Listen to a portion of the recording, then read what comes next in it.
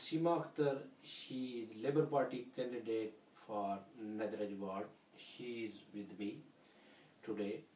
Uh, Nasima, first of all, people want to know about you.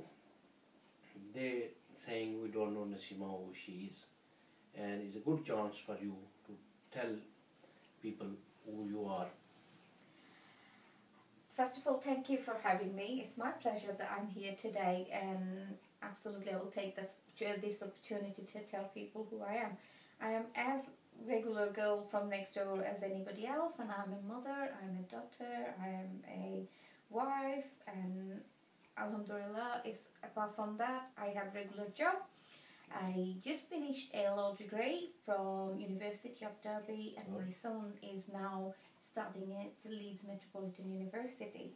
I know people ask me why you doing degree now, but when my son went to secondary school, after finish my full-time mother's job, I thought it will have my time now to do go back to study and fulfill my dream. And being in politics, I realize it's important to know how the law process work, lawmaking process work, so I can link it two together.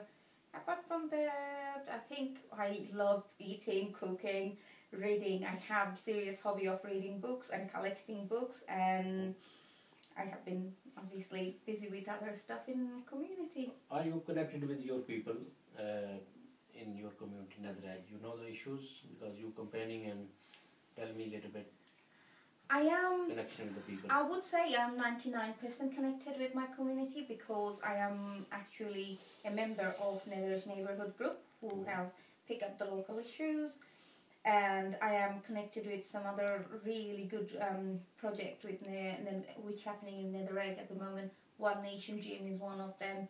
I have been helping out with little bits of project and here there.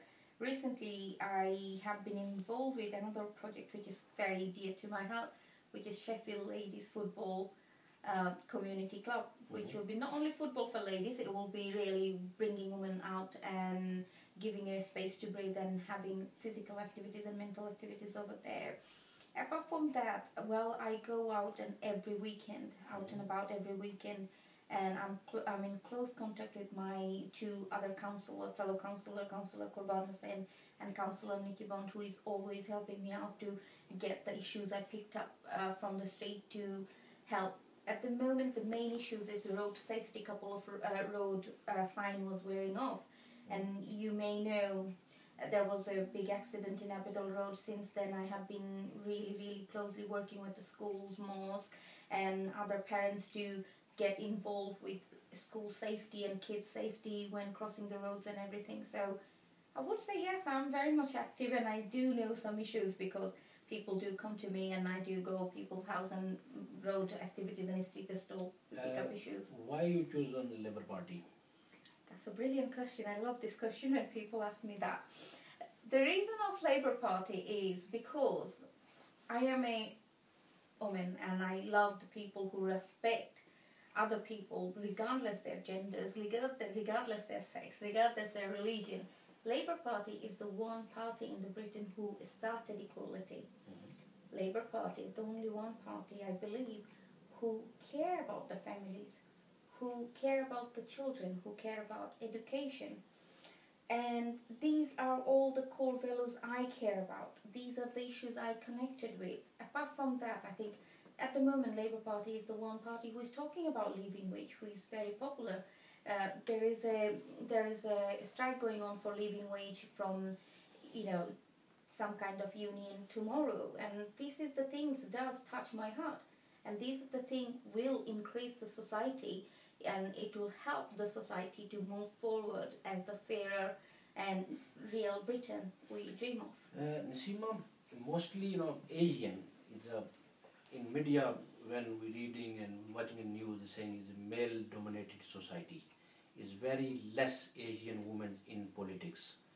And May 22 if you won you will be a first Asian councillor in Sheffield and how you can uh, encourage other women to come in politics I am trying to get my message out there, and I have been getting this question on the you know on the doorstep. But the thing is, I think it's very important that our our ladies who are predominantly obviously Asian are housewife or any other busy they are whatever they're doing in their personal life. But the thing is, is getting the message out there. And I would request all the brother and uh, people or all the gentlemen who is listening this uh, interview today to go out there, tell their wife, tell their sister, tell their daughter that actually how important it is politics because we do everything is